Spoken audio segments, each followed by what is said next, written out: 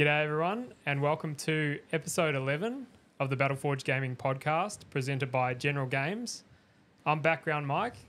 I've got BFG Justin with me, G'day, guys. and today we are joined by our special guest, Cail. Greetings. Welcome, Cail. Thank you for having me. Thanks for coming. Let's get the like and sub in there real Oh, early. yeah. So, yeah, for everyone watching uh, live, can you please like and subscribe? It helps the channel out massively and uh, helps grow our audience. Even leave a comment as well. Yeah, That, that helps a ton. yeah. Any we don't- comments? we had a big chat before getting, you know, sorted for the podcast, and I was like, got to remember that like and sub. I don't know if you had thought about it, but Not at all. well, no, we not, got it. We got not it at all. you needed to do a bit of a. Hey, Mike, don't forget to like and subscribe. well, I, I, I only just remembered. No, that's okay. So, uh, how's everyone going? How have you been the last couple of weeks, Justin? Um, painting Tyranids, painting lots of Tyranids. So week, I think it's week three. No, it might even be more because we had Naz on, and then I started painting the Tyranids. So yeah, still going. Probably about halfway. Haven't lost my mind yet. Haven't How do, you, how do you feel about them in like? Because I know you're normally a Blood Angels guy. Yeah. How is it like painting them as opposed to the Space Marines? Well, it's it's actually quite funny. Darren Latham put a post up on his Instagram The the other day, and he Yeah. was talking about how he stays motivated with painting, and he suggests that you have one highly detailed project that you do, whether it's a display model or doing an army to a very very high standard, mm-hmm. and then you have another one that's of a lower standard that you can paint a bit quicker and you're getting results faster that helps you keep motivated and you switch from one to the other. So I'm finding the Tyranids are sort of doing that for me in a way because I am seeing results really quickly. Painted a screamer killer in like 15 hours or something like that, which for me is like I wouldn't even complete one That's of my fast, my yeah. Blood Angel Marines. So Okay. Yeah, especially a model of that size. Like, Mm. that's got to be pretty satisfying compared to the usual slog. yeah, yeah. So I'm def I'm enjoying it uh, for sure. I'm enjoying it, but I am also missing the Blood Angels a lot. So I can't wait to to get back to those guys and finish off my Stern Guard squad, and then I'm thinking some Assault Centurions. I can't get Ooh, my mind, cool. yeah, can't get my mind off Assault Centurions. I don't know why. I just Yeah, I I've got have- a I've got a bit of uh, Centurions from because I used to my original Space Marines before Blood Angels was uh, Crimson Fists. yeah. And uh, the Imperial Fist there for a hot minute. The Centurions, Bolter Centurions were all the We're rage. good. Yeah, yeah, yeah. So, So- yeah, they're such a cool model. Yeah, I, I had some previously. I'd, I'd painted them as Iron Hands, but I haven't seen them as Blood Angels yet with the Mm. yellow helmets, and that's that's It's such a weird thing that they don't, they can't have a captain. a Centurion captain. Yeah, yeah. it's there's- so you can't- you annoying. Can't, attach a They- character. They're like one of the only troops that can't have a character join them. yeah, and I don't know if there's any auras you could benefit from either, but they're pretty good by themselves. Yeah, yeah, they're so- pretty good. They're pretty good. yeah, that's that's what I've got planned. Can continue with the Tyranids. Hopefully, have them done well before DreamHack, so we can get everything else sorted: the tables, the lighting, the the streaming setup, all that, all that type of stuff. Speaking of DreamHack, Cail's actually going to be one of the guys that helps us Yep. at. DreamHack. So. Yep. We've got a few of the the Battle Forged gaming community helping is, out. a, this is a preview of the DreamHack crew. It is, Exactly, yeah. yeah. yep. So we've got Marvin as well, and Tiny and Oh, Mrs. cool. Tiny coming Oh, out. awesome. Yeah, that- awesome. that's gonna be. Oh, and Mark. Don't forget Mark because he's playing the Tyranids. Yeah. yeah, right. So that's gonna be the Battle Forged Gaming Dreamhack crew. Are you coming? Awesome. Is are you coming, Em? Yep. I Background was, M. try- I was trying to coax a little Ah. reply out. That's the quietest I think she's ever been in her life. You want to remain an enigma? Yeah. Okay. Cool. Yep, yep. Cool. Yep. Wrapped in a mystery. I like it. There's actually no one behind any of these. Yeah. No. No. We're just talking cameras. to the camera. Yeah, Yeah. yeah. I like it. So yeah, that's what I've been up to. So more more Tyranids, more Tyranids tonight, and potentially maybe on Twitch tonight. We'll see Ooh. if we can get the setup right for the Twitch stream and the TikTok stream at the same time, which we are. That is a fantastic segue. It is a fantastic, Fantastic segue. segue. Yep. Seamless. Yeah. So Mm-hmm. right now, guys, we are all uh, hopefully streaming live to Twitch and to YouTube. Background M's giving me the thumbs up. So we are live on Twitch right now. Uh, that's going to be a transition that we're hopefully going to make permanent.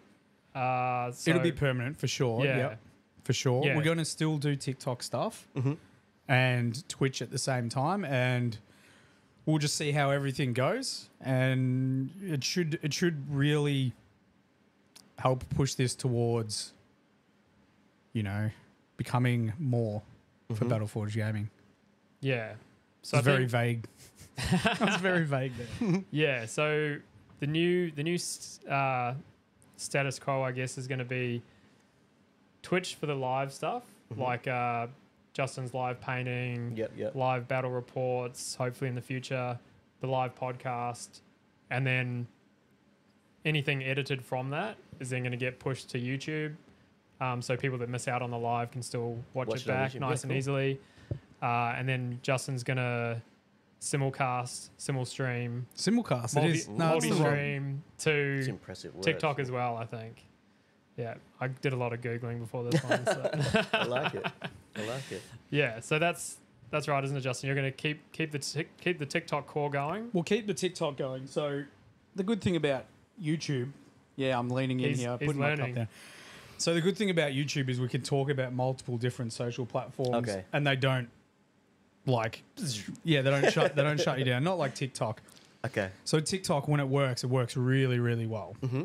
If, if I'm hitting the algorithm, which who knows how you hit that, sometimes I do a post and I'll get 90 people in chat and you make a whole bunch of new followers. Yeah, right. And then other nights, it's like 17 people, just consistently 17. It doesn't really go above that, which for when you've got 14,000 followers doesn't always make sense. Mm-hmm. But we'll keep TikTok because it can be a benefit, but we'll also do Twitch. So we'll try and get everyone to migrate as many people as we can to Twitch. That is that is the idea, and Okay. get subs over there because financially it makes more sense for Battle Forged gaming. Yeah. We get ads which we can benefit from. Mhm. We're not going to pepper people with ads. We're going by what the the guys chatted to us about. They recommend that we use about 4 minutes of ads in an hour. Okay. We could yeah, I think you said it yourself. They were saying there are some people that do 20 minutes of ads in an hour, which Wow. is just uh, I think taking the piss. That's a quite great frankly. way of get getting no followers. Yeah, losing your whole community. uh, Yeah. Do they do like any sort of um, like do they make tailor the ads to like what what you're doing? I'm not sure. Yeah. YouTube does. I Yeah. know that for a fact. If you go over and look at our videos, you'll get stuff like the Tacticus, Mm-hmm, mm-hmm.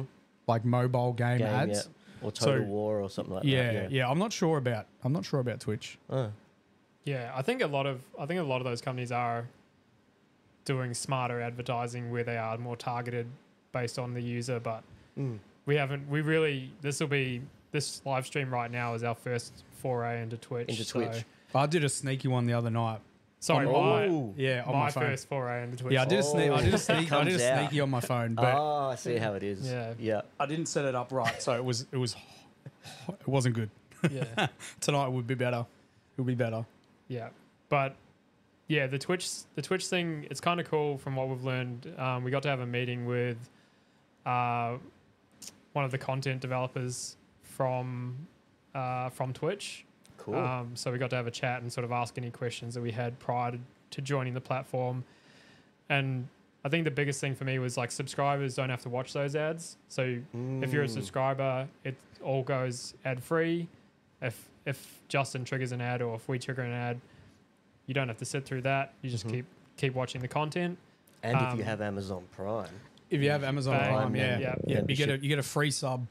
Yeah, and free anyone sub. who's watching this and doesn't use their Prime should be ashamed of themselves. yeah, yeah, Should come over to Battle Forged Gaming. Mm. All, all one word.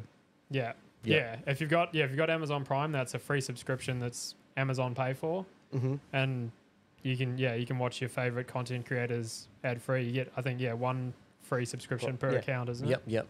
And I think you can renew it every month to the Prime one, which Yep. is really cool. Yep.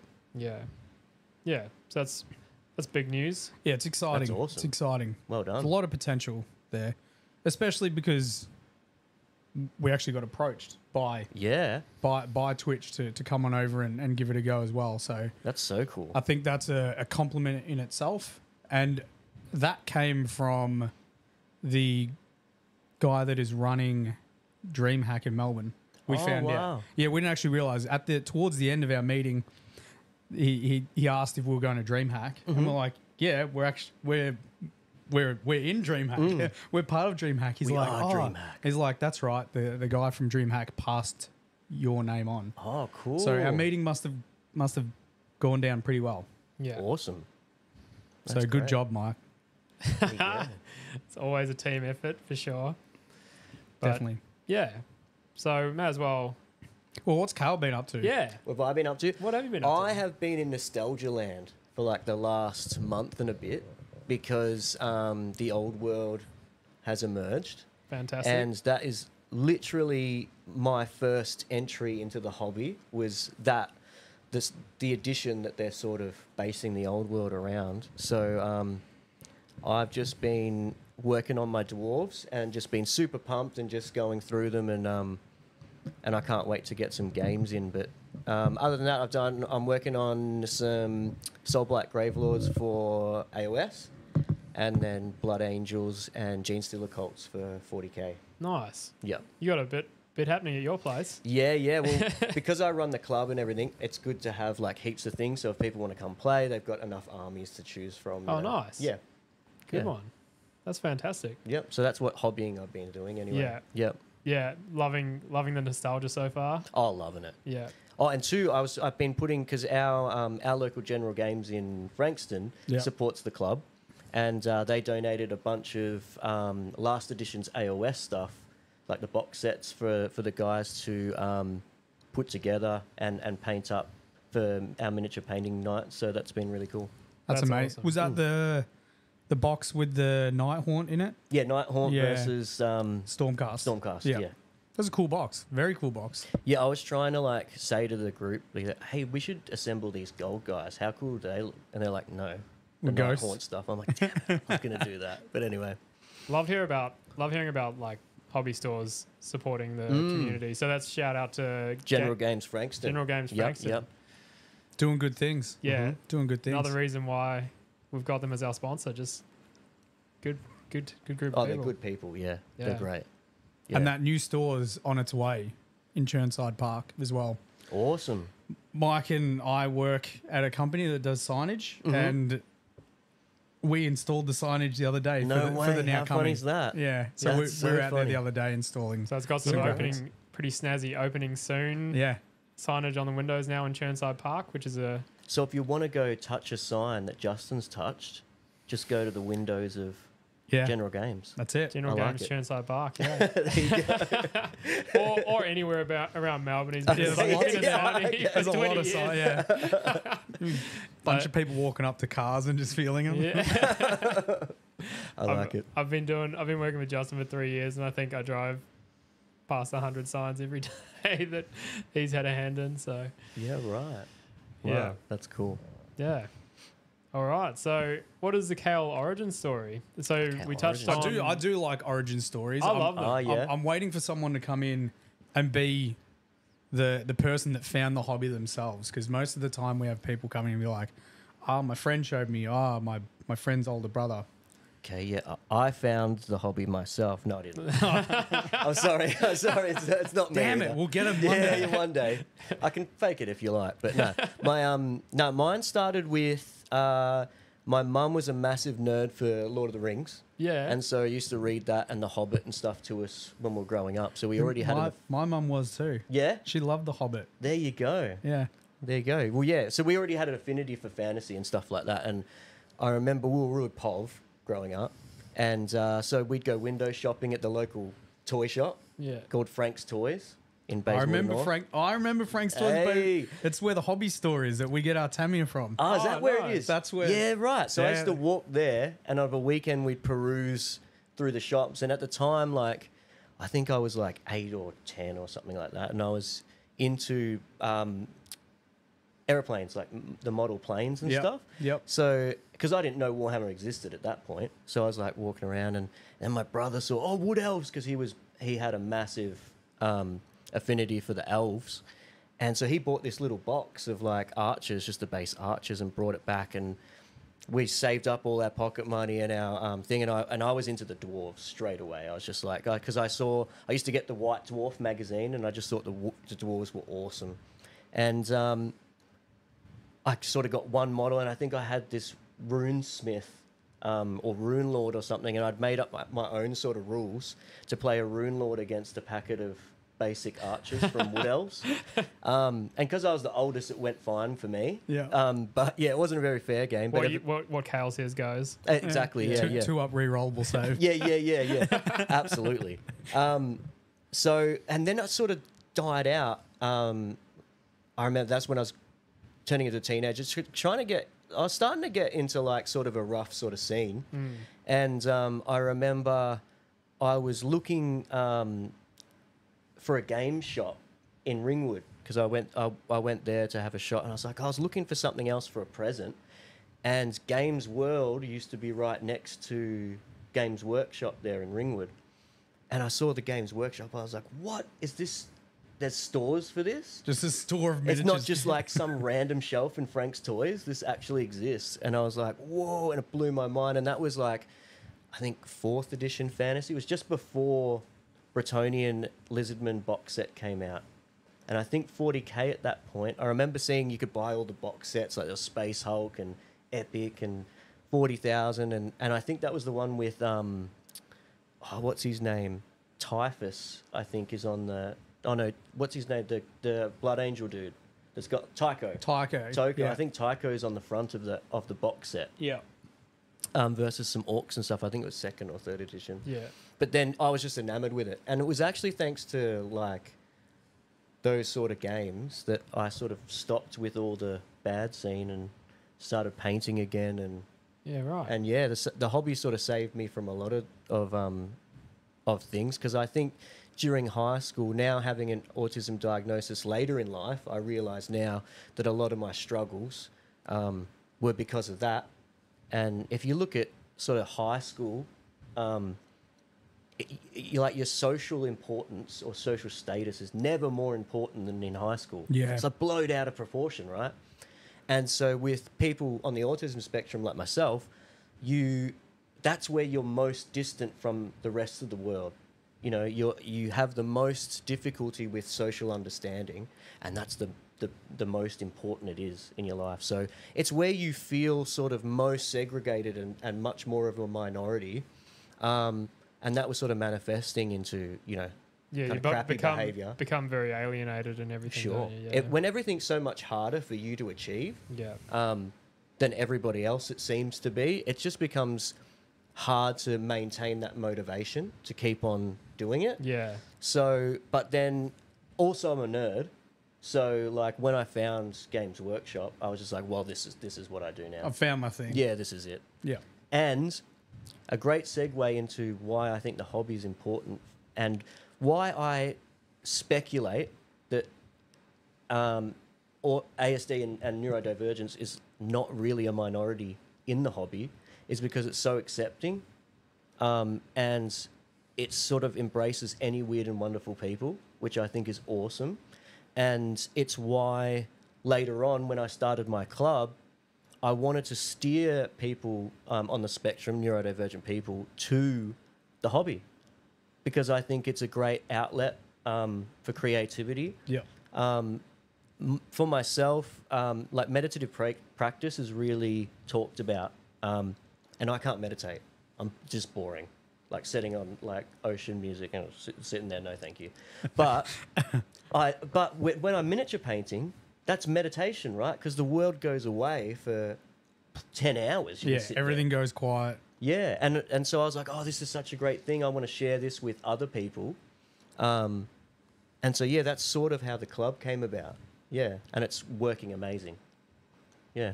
Fantastic. So, could you, yeah, could you explain to us and those listening Mhm. what what the club is that you've started? Because Yep. obviously we've touched on a little bit now, but Yeah. yeah. So Yeah. So it's a, it, basically what I wanted to do is set up a, a social group for people living on the spectrum to uh, like create opportunities to create meaningful relationships. Um, and really just create a safe space where everyone's the same. Because when you're a minority, you're always in a world where everyone's different to you and there's very few that are like you.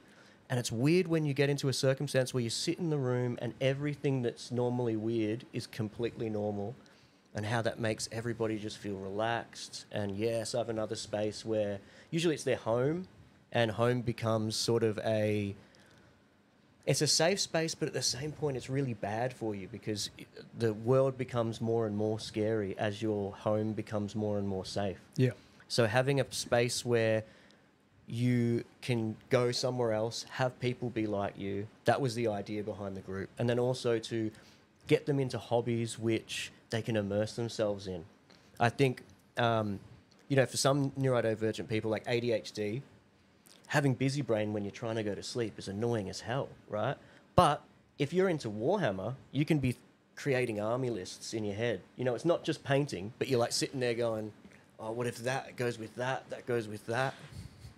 Yeah. Mike's smiling Is that at you? Mike's Nah, nah, so Oh, that's that's you. guy. Mi- Mike's smiling at me because I, I've I've thought about getting tested for, Mm-hmm, for ADHD or any form of the spectrum because that is literally what I do when I Mm-hmm, go to bed. So I can sit there and I don't even need to go to bed to do it, but I paint models in my mind Mm-hmm. and I know exactly how they're going to look before I paint them, Mm-hmm. which is fantastic for my, my painting because it really helps with my, my color schemes. Mm-hmm. It's it's very very rare for me to take on a model and not know how it's going to look at the end. Cool. So Well, you know what? My diagnosis came not from me seeking it out. It was totally by accident because two of my children uh, have ASD. And when we're getting them tested for it, because you have to get funding and all this kind of stuff to get extra help for them. And I'm doing the test and I'm like, that's me, that's me, that, that, oh crap, that's me. And I was like, okay, I better get this checked out. And that's how I got my diagnosis. Because people from our generation, we just didn't, it was just, you were just weird. Well yeah. I was, so you know, you weren't you weren't anything but weird. Yeah. So this is going to obviously this is going to be a main topic of what Mm-hmm. we're talking about in this podcast. Um, we're not here to try and offend people. It's Yeah, all yeah, coming yeah. from a, a you know, a, a, place of wanting to to make this uh, much more aware to the community. Exactly. So I, I agree. I, I went to school and there were kids that, and I was friends with them. Mm-hmm. You were just like they're a little bit strange. They're running around the schoolyard and they're pretending to be an ibis. Mm. And I was just like, that's a little bit weird, but he's a nice guy. So at that stage, yeah, people didn't really get diagnoses when I went to school. You're just like, Mm. I "Oh, think ADHD was just different." coming in. yeah, ADHD was starting to become a sort of thing in the '90s and stuff like that when I was in school. But yeah, the um, it's great that it's now. I think I think we're in a stage now where autism is accepted as a thing. Like it's not. What's that? You know, a lot of people know that it exists. there was the a stigma behind it for a while. for sure. So I think we got to that stage. Now it's about, you know, the the problem with us being um, introverted naturally as people is that there's not a lot of spokespeople Yeah. that can be like, I am autism, you know, Yeah. because people think it's like, you know, they think it's the Big Bang Theory, you know, like that. Who's the main guy? What's his name? Sheldon, Yeah, or yeah. they think we're all Sheldon. We're not all Sheldon. There's levels of it. Do you know what I mean? So that's why it's called a spectrum. exactly, Yeah. exactly. So um, I think the more people that get out there and they can see, oh, actually, you know, autistic people are just people too, but they just have certain things that um, are hard for them, like lights, uh, sound sensitivity, all these different things. The I'm- more, I most definitely get sound sensitivity with, with some things. yeah, Mi- Mind you, I think I've felt I've found ways to sort of deal with it a bit more, or I'm I'm a bit uh, what's the word I'm looking for? I've I've just found that I can manage Well, quite well. what you mean to say is masking. Yeah. And, and that's what our generation learnt to do really well. Yeah, Unfortunately, that's got a life expectancy on it because at some point you'll probably collapse into Yeah. a pile of heat. And It's, yeah, yeah, you know, and the reason for that is it's not great because you're faking all the time. yeah. Um, Just so people are aware, I'm not faking when I'm on. I'm not faking when I'm on stream. I'm not saying that. yeah. No, no, you're, yeah, you're definitely all out. Um, But but you know what? Masking is good in a lot of ways too um, for people to adapt to small situations because we're now having the sort of reverse effect now with this next generation where they're accepting of everything and they expect you to understand all the different intricacies of, of social life and you know gender and all different things. They're really accepting but the downside to that is you don't develop skills to cope. Um, so we run uh, like it, it- on top of like the hobby like warhammer and stuff like that we run d&d which is a great experience for people to role play. Um, and teaching that role play is really teaching you how to mask in a positive way that you and mask really big at the start and then start to bring it back so that you can feel comfortable with only just a little mask not a great big one because I think, like, if I look back on all my teenage years, I just had a giant mask in front of me that when I was out and about, and then For sure. you I, know. I've started to think I had, I did the same thing. I was Mm. almost extremely extroverted, Mm-hmm. Me trying too. to, trying to, I guess, be popular with people. Not so much like I had to be popular, but you know, I was like, oh, everyone else is doing this. Mm. I should be doing this. When in actual fact, I'm far more comfortable painting my models Oh, for sure. by dude. myself, helping people. and It's it's a weird spot to be in for myself because I do very much like to to help people, but I am naturally a little bit introverted. So yes, this is this is more about pushing. I don't think this is so much masking. It's about getting out of my comfort zone because it's it's good to make people a- Oh, aware. for sure. But also, I think you're doing it in a great way because if you're now interacting with people outside, there's an association with something you love also. So people that love the same thing, you've always got something to talk about. Yeah. So everyone you have on the podcast or that you meet at DreamHack or whatever, you've got something to talk about, which is again part of the club. The idea was to come around and have a game on the table, and we're going to play something, and you can engage with the game or not, or talk to other people, or hide in the rules. Because um, for autistic people, having a rule set around you is like some nice safe walls. Because otherwise, a social encounter is a nightmare. Because I don't know you, I'm meeting you for the first time. I don't know anything you like. You don't know anything I like. This conversation could go anywhere, and your face is moving, and ah, you know what I mean. But if you sit down at a table and, and I start telling you the rules, you're like, okay, cool, cool, cool, cool, and then I can look up every five minutes and go, oh, hey, how are you? Yeah. or like normally I'll be joking about things that I know are common interests with us all, whether it be hobby or fantasy or something like that. Um, I also find I love talking to people on the spectrum about their interest because you see their face light up, and there's no limit, time limit to how long you can talk about an interest subject with someone on the spectrum. Yeah, they yep. could just go forever. Yep. and um, and it's really cool to see that in them, and then to see because they're in a safe space, and most of people on the spectrum like the right stuff because we know what's good. So one will say, "Hey, I like fantasy," and there's at least three people in the room that go, "Which type of fantasy?" and that's how it sort of starts from there. You know what I mean? So, um, and the reason why I wanted it in person is because there is another sort of problem that's birthed in our community with uh, video games. It's great, again, in a lot of ways because it creates that immersion and opportunity for you to experience a world outside of the outside, especially when it's too nerve wracking and all that kind of stuff. But the downside is, you know, if if I don't like you and we're teamed up together, uh, I just go, oh, mute. Disconnect. Yeah. Or I can go, aha, your mum, blah, blah, and then like I can do whatever I want and there's no repercussion. So it creates this terrible habit of you testing out these social things. And also, I find a lot of people on the spectrum have been bullied or know they're a minority by this stage and then are sort of using the internet as a weapon to return fire. And I think you develop some troubling social habits if that becomes more of your life.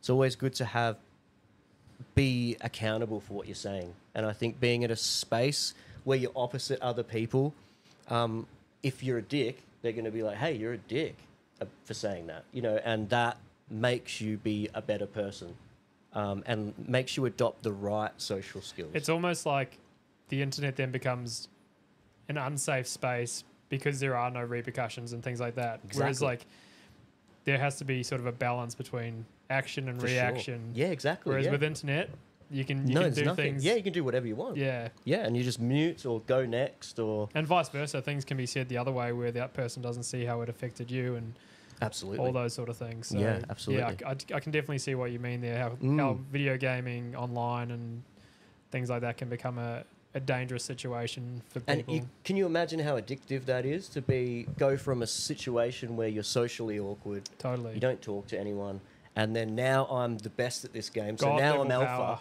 and I just go, "Oh, you want to be on my team? Sucks to be you, beep." You know, Yeah. and it just creates these massive problems. Yeah. um, because it's just too tempting. You know, you Yeah. can imagine. You know, it, it's just too tempting. Luckily, I'm terrible at video games, so I never encountered that problem Yeah. myself.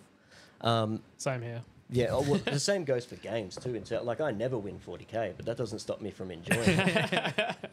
you know. As long as your army looks good. Yeah, well, well, do you know what's fun? Like you were talking about how I, I admire the fact that you can sit there and have motivation to do, um, like painting competition standard, painting competition standard, painting competition. I can't do that. I always have like like what you were talking about before with the um, what's it, Darren Latham's Darren comment. Yeah. I often do that. Like I've got a piece that I'm working on now for a painting competition, and I did the airbrushing and stuff, and then haven't touched it because the dwarves started. And I'm like, ah, screw it. I just want to do 20 thunderers in a day. Like I just want to smash through them and just do. I like doing just a bit above tabletop and getting a nice big batch of something done, and then go back to doing a leg. Yeah. well, yeah. I mean, it, it, again, this touches on the spectrum. It's probably something worth me getting looked at. Mm. I've got hyper focus. Like I can, I can easily sit there and paint blood angels. Like if we didn't, if I didn't have to paint Tyranids for DreamHack, I could have easily just continued just going through blood angels until I've got like six thousand points painted of that same standard. Yeah, just cool. because. I don't know. I just I Well, I think as far as like seeking diagnosis, I mean, what would it do for you? Do you think? I think it would just give me a, a point to be able to connect with people and chat to them about it. Cool. Saying, Yeah, this is something I do have. Not only do we have Warhammer in common, Mm-hmm. We've also got this in common. Great. Or I can relate to this. In terms of seeking um, medication or something, Mhm. I don't think it's something I need. Mm-hmm. I almost feel it's a superpower being Mhm. able to focus solely, like have blinkers on a on a project. Well, they do say it's the next step in evolutionary change, but anyway, I might be a bit biased. Homo, Suits me pretty good. Homo superior, yeah, the, that's it. the first of the X Men. Yeah, that's it. Well, so I, I have I've got a friend. Uh, I probably should have checked if I could chat. I won't mention his name, but Mhm. he had a lot of problems focusing on projects. hmm Like a lot of problems, and he's a fantastic painter. Like amazing, amazing painter. He recently got diagnosed, mid thirties, I think. hmm Did get some medication, and now he's like, my life has changed. Mm. Everything has changed.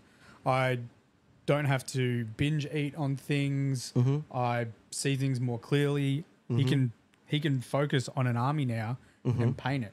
Yeah, So for a long time he he was like, I guess wondering, oh, what's wrong? Why can't I? yeah. Why can't I focus Yeah. on, on this army? And it's it's all changed after getting a diagnosis. That's a little similar to my story, although I actually found it was a massive positive thing for me because uh, for a long time I required to function normally to go to gym every day, to paint miniatures, to talk miniatures, to look at miniatures, to watch things. And like, I- used to feel guilty for having all of those things. You know, I'm married, I've got kids, I've got a family, um, and still hobby does take up a lot of my mind space. Um, and I'd feel guilty about that. And then when talking through my psychs and, and getting the diagnoses and stuff, he was actually saying, actually, you've gone about ticking all of the mental health boxes without knowing it. You know, you found a meditative practice in miniature painting. You found people like yourself in the gaming hobby. Um, and gym is a great, healthy thing to for people on the spectrum to go do number therapy. They call it, which I have a theory that number um, therapy is what list building is with the point system, um, which just makes you relaxed and feel awesome and like it, it- I don't know. I get dopamine when I I write love lists. I love building a list. Yeah. Lists are great. Anyway, and so, but I, I stopped feeling guilty then because it was like, oh, that's why I do that. And actually, I'm doing the right thing. It's like completely changed my mindset. I, I, I felt I've felt the same. I felt the Mm. same thing. Felt the exact But you know what thing. too is a lot of people, and this is an important thing with with the autism spectrum is there is a there is still a massive stigma on medication, and for the right reasons in a lot of ways because we get a lot of input from the states, but we're not the states. Yeah, we're not all on high strength painkillers. Yeah. Uh, there's some of us are, but we're not like the, the states. And I think you'll find like even I, I don't know your case, but say if you did get a diagnosis and he said, well, why don't you try because you got busy brain when you go to sleep? Why don't you try melatonin? Because for starters, if you're autistic, you don't actually produce melatonin, so you can't get to sleep naturally properly. So you might have never slept properly, which is what I encountered. I had melatonin, and I was like, "Oh, that's what it is." Damn, that, that explains so much. I do, I do have the occasional like really good sleep, Mm-hmm. but I do go through periods of like maybe a week, and Mm. I'll I'll pick Mike up from work. I'm like, I didn't sleep till four a.m., bro. Yeah, yeah, dude. And you know what? You're playing. Like, if that's the case, and like I always say to people who are, because I constantly come in in contact with people who are like, I'm starting meds, and I'm like, great. See how it goes. You got to run a gauntlet, try different things, and and see what works for you. But otherwise, what do you what do you, you want to play life on hard mode? Like I don't get it. Like if you if something can help you be um, productive, but also relaxed. Like, you know, busy brain is great, it's fun, but it's also annoying. Like when you want to get some good sleep and you're like, I know that blood angel is at work. I don't want to get up and check it. Do you know what I mean? Yeah, Um, so it, there's times when it's good, there's times when it's bad. Um, medication is uh, it's just something I've come to accept as part of my life, and um, I don't have a stigma towards it because it it makes my life a lot easier, makes me being able to be present, and uh, helps with you know being um, part of my family and and giving time to them, and also.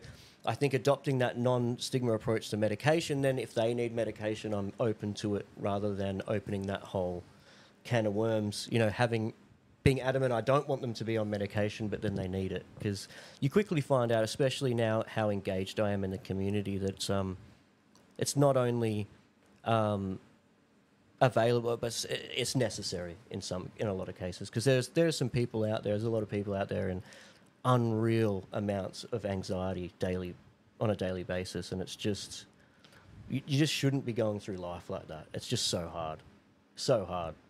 So the more skills we can give them, the more and and I think the Warhammer hob- hobby especially is just like bring all your weird and wonderfuls. We don't care, just as long as you. I I'm not a fan of the actuallys. They're a part of the thing, but anyway, I won't go into that.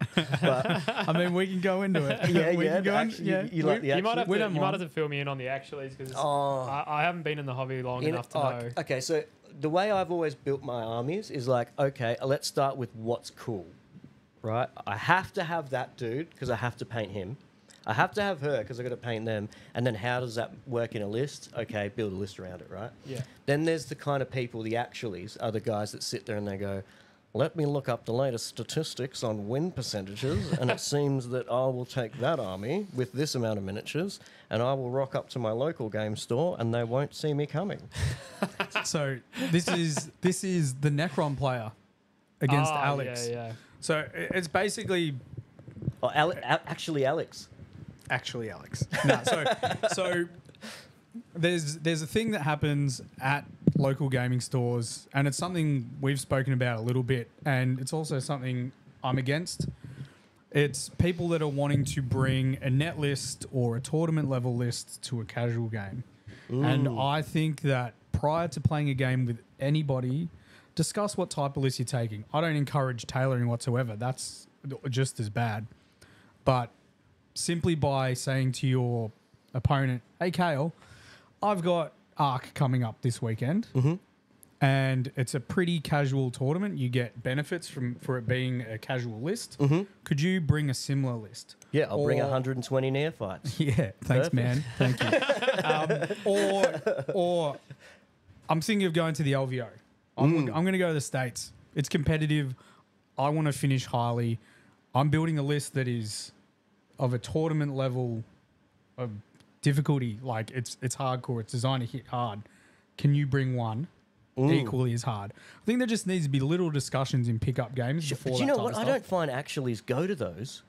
Actuallys No. realm in the No, they don't. no No, they don't. They want to go to a casual gaming store. and stomp someone. They want to stomp twelve year olds. They want to. They love yeah, it. Yeah, they want to. Yeah. They want to do the the noob smash. They want to Mm-hmm. get an empty win, and It amazes me that that's. they'll never they'll never participate in a tournament ever because they don't want to lose a game. Does that like blow your mind that that's someone's psychological state that they're like, yeah, let's go beat up on some fourteen year olds today. I'm 31. I'm not surprised by that. I'm, I, I, I am and I'm not. I Like I know it's part of humanity, you know, but I'm I'm just like I'm surprised by it still that it's a thing. It's just the win at all cost guys, and yeah, But they're not they're not invested enough to actually go to these LVOs and do any of that stuff. No. It's weird. I think So weird. It's something that we've kind of touched on before. Is it might be a little bit of that video gamer mentality Maybe. where there hasn't been because we're talking about a lot of people in the hobby have issues with social interactions. Mm. They may not feel comfortable calling that person out on what they're doing, and those Mm. around them, also in the gaming store, may also not feel comfortable with that type of interaction. Mm. So these people have gone unchecked in the hobby, yeah. and then you're just getting it. It's just instilled with them that this is. They're just getting rewarded every time they do that. but what like tends that. to happen to those guys is they find they find that they just don't find pickup games. Mm. Yeah. Well, that that's what happens. Word word literally goes around, and they don't realize it. No. I mean, they should probably be called out. Maybe this is something we should enlighten to people. If, Yeah. if you know someone, they have to be a person that plays like that. Let's Yeah. let's be clear. It's not someone that's brought a friendly list and has scored extremely high on objectives. Sometimes Yeah, that just happens. Oh, yeah, Some- yeah, sometimes you just you just lose like a real bad and loss. sometimes when you're doing the rule of cool, it accidentally is amazing. yeah. So yeah. that happens too, but I'm happy for that. Like I remember m- the guy that I play with, Shane. Um, he brought the sister's all flamers list. He's like, I just want flamers. It's like, oh, you can take nut flamers. And I was like, yeah, sweet, do, do that. Let's fight it. And it was just, I was GSC, and I You're couldn't brutal. get anywhere near him. Yeah, he just brutal. fl- flambe barbecued me. But I'm cool with that because it was an, a narrative that he wanted to go down, and neither of us knew where it was going, and it was, and it's just fun. But yeah, it's it's the actuallys are, are, are kind of a blemish on the. Uh, intentions have a lot to do with it. I think. Like if you're if you're coming to a list and like you said, it's an accident. Like you just get blown out, blown out of the park, blown off the park, whatever. Mhm, mhm. Um, you're gonna be fine with it. You're like, ah, Yeah, yeah, yeah. You you can tell. But then the guys, You can the- tell the- on their the- face too. the- They're yeah. like, "Oh my god!" yeah, this yeah, that'd be, that'd be, yeah. yeah, the, the well They're just as actually are surprised as you are. they they've planned they've planned They, they've planned it. They've they've been waiting all planned- year yeah, for this yeah, moment. yeah. yeah. If they don't Ooh. absolutely dominate you, they're Here's- sour. here's a- They're sour. Yeah, here's a new kid. He's picked up his combat patrol box. It's time Mhm. for Aeldari Night Spinners. Nice admech there, Mike. Interesting. But my, Dude, we'll have our first game and you will pump me. Yeah.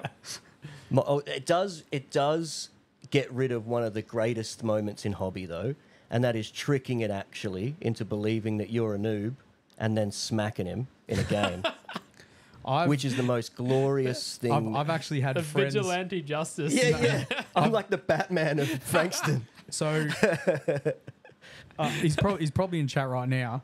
Uh, Tiny is a, is a Batman, so he He's gets a Batman. So He's a he'll- Batman of He'll, get Adelaide. he'll get steered towards someone like this, Yeah. and they're like, "Hey, you should play this guy." And in in comes big six foot seven Tiny, and I love it. and he puts them in their place. And I've got a friend that does the same thing. There's people that go around and and all they want to do is get these wins. They'll they'll either You not should get play, they'll either yeah. not get a game or all of a sudden they'll come up against someone and the A game tournament player. the w- game will not go the way they thought it will. Wow. But that's that's kind of like the you do need that to balance it out. Like You that do. that needs to be that that reaction or that that consequence of playing like that. I think. Mm. Otherwise, you'll always have the noob smashing as part of the hobby. Yeah, and to be clear, I'm fine with the tournament list in the right yeah, yeah. in the In a right tournament. setting. Yeah, in the right setting. It's got it in the name. Yeah. it's a tournament list. Yeah. That's Yeah. right.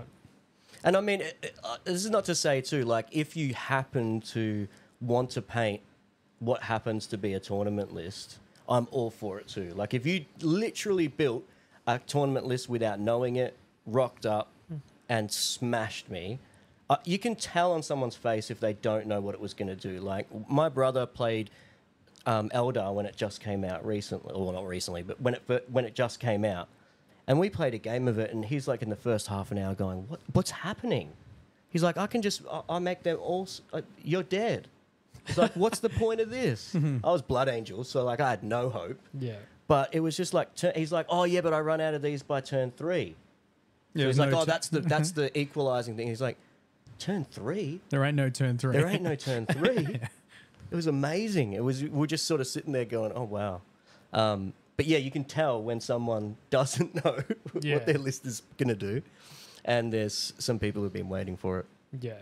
And I think, yeah, I think the big thing for me personally is I, I hate to hear it happening to newcomers to the hobby. Mm. Like, you know, you guys, you've been you've been around a little bit. If you came up against someone like that, you know, it wouldn't deter you from the hobby. It wouldn't. No. It wouldn't stop you playing the hobby Well, the, the, necessarily. the, the thing is, I've played enough of the game to know what I'm versing hmm and what it's capable of doing. And quite often, I won't even play that person. The- I was just about to say the last game I had, a guy set up opposite me, and I said, "Oh, you win. Don't worry about it."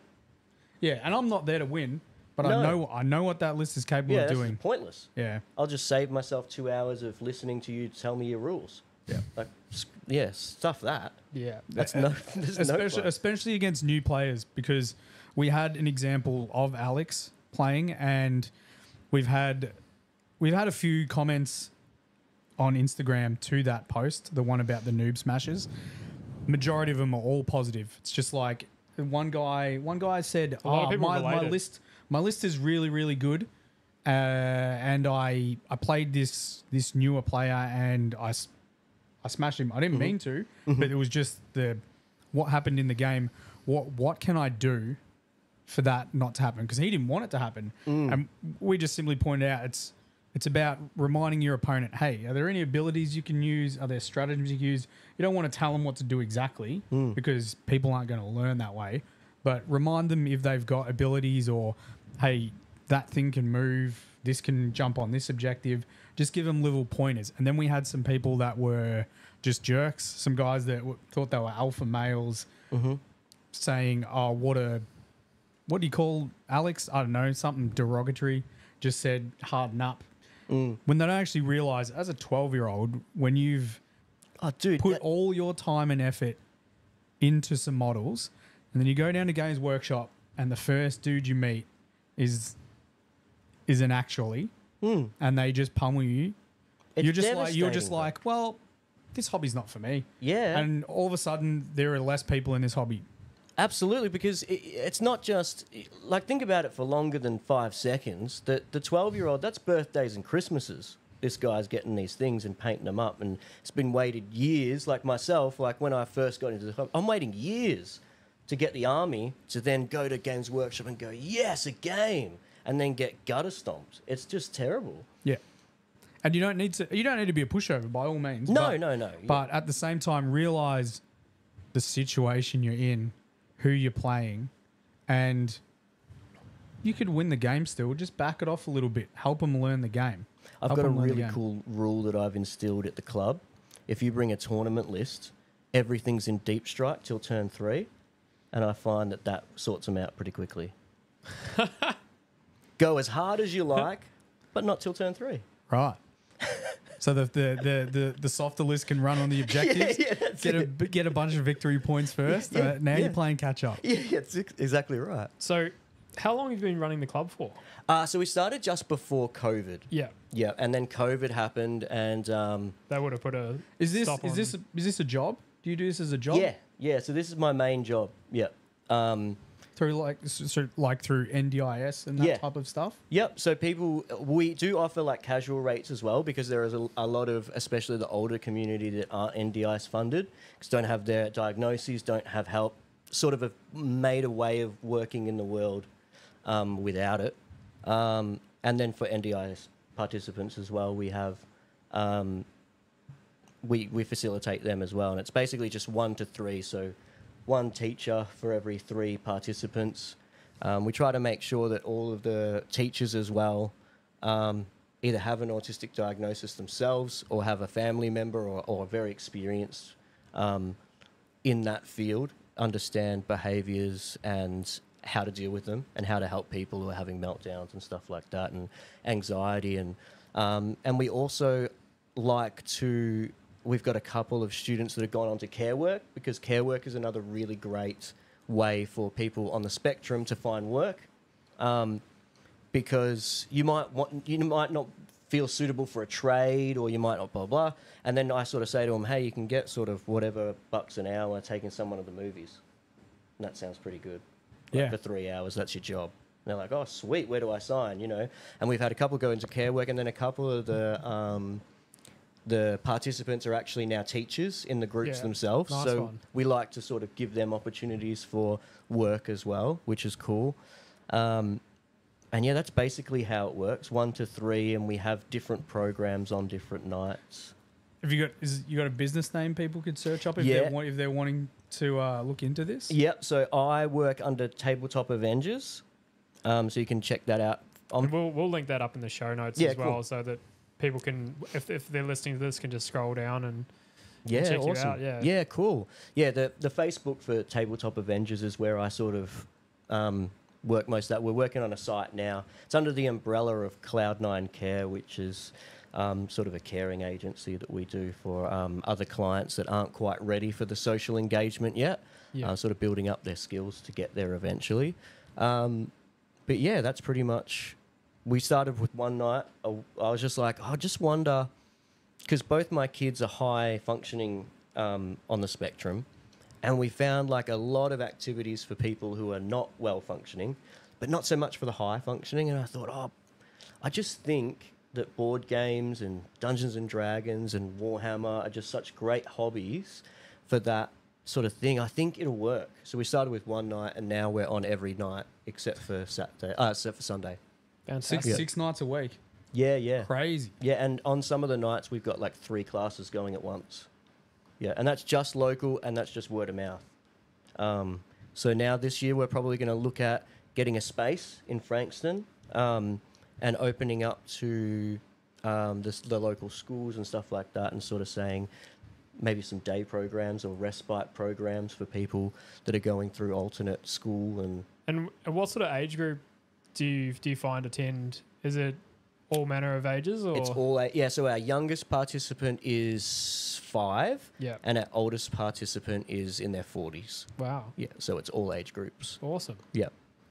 That's fantastic. and we've sort of found groups for um, yeah for all different age groups yeah we got multiple adult nights multiple teen nights multiple younger kid nights as well so So how do you run it? Do you run like a Warhammer night, or is it is it a board game night? Or yep so we have like say thursday nights is our adult board game night yeah, so tabletop, Tabletop so games, they yeah. can do whatever whether it's board games or they're at the stage now where they sort of know half the games in there and they can just pick up something and play together yeah, and it's more just of a safe space for them. But then we run like D and D nights, um, and we got like the local Domino's sponsor us and bring us pizzas, which is How good's awesome. that? Yeah, it's so good. Um, so yeah, We D- need a food sponsor. yeah, yeah, yeah, dude. Domino's Frankston. Also, it's a bit, bit of a hike from here. But yeah. I think there's you a. I think there's a there's a Domino's Mooroolbark. I think. yeah, man. Yeah, get on that. But yeah, no. So and then we have nights like miniature painting nights. We have multiple of those, um, and that's something I really push strongly. Um, even on our site, we have a separate like tabletop Avengers.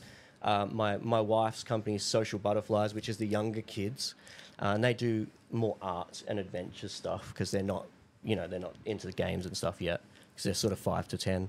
Um, and then miniature painting is a separate thing Nice. because miniature painting is there's all ages all on the same night. It doesn't matter how old you are. It doesn't matter where you're from or what you do. That just seems to everyone just sits and, and relaxes and talks rubbish. It's great. amazing. Yeah, it's awesome. I get paid basically to play games. It's Yeah. ridiculous. Yeah. Do what you'd be doing anyway. Yeah, yeah, absolutely. yeah, that's it's amazing. beautiful. I Yeah. love that. Yeah, yeah. That's so good. And yeah, so obviously you've grown from strength to strength. So, Mhm. um, did COVID hinder Um, you yeah, much, or Yeah, we still did groups and stuff. Um, Yeah. We just did it online and we did Tabletop Simulator, which is brutal. if you ever have to do that. Have you done tabletop? I haven't Simulator? played Tabletop Simulator. I've seen people playing on it though. There's yeah. people doing 40k tabletop simulator. Yeah, Ooh. yep. Couldn't imagine moving like 60 models around, pointing and clicking. Uh, no, thank you. Not for me. You're not familiar with it, Mike. So you can basically build your list and play the game on that's on on a computer, Yeah, okay. and then you just roll your dice in this like AI dice tray and It stuff. 3D renders your beautifully painted Mhm. Blood Angels, does it? Mm, I mm, think you can scan your own models to Oh, have them replicate. Yeah, I Yeah, was having a dig. That's crazy. mm. but mm, uh, yeah, I'm. It's definitely not for me. No. It's definitely not for me. I can understand it though. It could it could help guys that are in that hardcore tournament scene for sure. Being able to practice multiple Oh, times yeah. a night, not Yeah, having yeah, to, yeah. to go somewhere to practice. Could, Yeah, you could have sure. multiple games on the go, I guess. It, Yeah. Potentially. Yep. I don't know if you could do. I'll play, Oh, there's Batman's my, out there. my There- brain melts when I play one game. Yeah, yeah. Th- No. there's there's Batman out there somewhere with like 10 screens going at Yeah. the same time. Lockie would do it. Lo- yeah, Lockie would do it actually. Lockie would do it for real. Uh, that's so good. That's yeah. How how awesome is that? Yeah, it's great. And I think um, the other thing too is like another a part of my mental health sort of journey is that it's actually really helpful for yourself to help other people. Yeah, um, and well, that's sort oh of my, how, There- how there you familiar go. does this sound? Yeah. it sounds like a sort of throwaway comment, but it is. Nah. It's so it's so good. Completely relate. Completely relate for Yeah. sure. No, we've definitely touched on it in earlier episodes. Like Justin, once he had the purpose of helping people paint armies, hmm almost like a completely different. Yeah, for the for the Mm. longest time, I was I was treading water through life. Mhm. Had it through COVID. Uh, without getting into too much detail, I had a rough eighteen months. There was uh, a lot going on during that period, and I was not myself. Didn't feel myself Mhm. for a long time. Probably about two three years. Yeah, I was right. sort of just doing what I needed to do Mhm. in life to to Get by. to exist yeah. just to exist. And then it was thanks to Mike who saw my my Warhammer stuff and he's Mhm. like, Hey man, you should put that on TikTok. And I'm like, Yeah, I'm already doing a little bit of Instagram stuff. I need to go to TikTok and we did it. Got to the thousand followers. He's like, go live. And I'm like, no one's gonna want to listen to me. And then yeah, we just built this community. And like I said, the community's like wavered, it's going up and down, just who's in chat, but the amount of the the sense of achievement I've got from helping people is Mm. is crazy, and it's changed how I feel as a person. It's given me a goal. Good. It's given me Awesome. something to to strive towards, and it's given me ambition. And for the longest time, I wasn't I wasn't an ambitious person. I was Mhm. happy doing what I was doing, painting models, going to work, going to gym, rinse, repeat. And now there's a goal. So It's interesting, you know, what you were talking about just then is that is something that I try to teach a lot of um, people who come in, and that is um, we incorrectly decide that we're going to decide how everyone sees us. So Justin's going to decide how Justin is to everybody, yeah, and no one really needs him, or I don't feel like I need to do anything, you know. And then someone else goes, "Actually, Justin, that's rubbish. I think you should do this." And it's when you shut the door to how you feel about you, or how you think people perceive you, and open the door to maybe people do, maybe I have something to offer. Um, that you see actually, there's heaps of people that want to see what you're doing. And I think everybody has that. And I would say that to anyone who walks into the club. I'm like, hey, you got something to give to everybody, you know. And it's usually, it's funny. It's usually the ones that people like the most, and the people that enter the room, they're like, you know, him and her, I'm not sure, but I like him. It's always that guy that has the really bad self worth issues, you know. Hundred percent. I Mm. could I couldn't agree with you more in that sense that it's so often than more often than not, it's the person that thinks the least of themselves Mm. that actually has the most to offer. But it, like you said, every single person, without fail, has something to offer. Sure, absolutely, except for the actuallys. they'll become aware one day. They'll become aware. They'll self destruct at Nah, that point. No, yeah, okay. no, they'll become aware, and and it happens. I'd like to think one- of an island where only the actuallys exist, and they, have, to, play each they have other to play each other. Yeah, to the end of time. That'd be a great TV show. and then it would just be a TV show. it would just be a bunch of like thirty guys on the island, Mm. all with Warhammer armies, not wanting to play each other Mm, they're all badly painted. because there's a chance Mm. I might lose. Oh, Warhammer. Island. I'd watch that. I'd watch that. Yeah. How's the voting system work? yeah. oh, Uh, and maybe it's like that you vote for the most popular guy gets to leave the island. So it's like a spit on the actual thing. So it's like, no, everyone still hates you. You got to stay. Damn. Hey, patent it. We there can do it. We'll, we'll, we'll speak to Channel Is that going to be one of your shows on Twitch? Maybe. Yeah. Warhammer Island. we were gonna we gonna do battle reports. We could just do that. to actually, Scrap the battle reports. yeah. actually battles. Oh, but where would we find such people? Yeah, you don't have I to look think too it- far. I think it would be as simple as putting a post up saying, tag and actually. Hmm. Or just go to the local general games or, the, or games workshop and say, "Can you give me a list of your ten actuallys?" Yeah. I'll go, "No worries, just rock up on Saturday." You'll see them lurking around the kids' Oh. table. Oh. That's, Goodness me. That's crazy. When when you found out like the your, your diagnosis Mhm. and everything like that, because I was I was interested. You asked Justin, did it change anything? Would it change anything for him? Mhm. Did it change any the way that you viewed yourself at all? Yeah, for sure. It, um, again, I touched a little bit on um, acceptance, but turning from why, why is, and and also is it? Am I different, or is everyone? Are you? Do you feel these things that I feel? Because I have no way of knowing whether you do, and I just spent that first thirty or something years assuming everyone was going through those levels of anxiety, assuming everyone had these social difficulties and and difficulty understanding each other and stuff like that, and then being told, actually, no, you know, it's not like that for you. It's been harder. Yeah. Um, and so there's uh, almost new self discovery, which is really helpful. Um, Almost a validation. yeah, a validation for sure. And again, not feeling guilty. I used to feel, I feel, I still feel guilty for having hobbies and taking up time and stuff like that, but a lot less because I have an understanding of why I'm doing it. Um, I was I'm very similar to you. Um, mind you, the position I'm in now.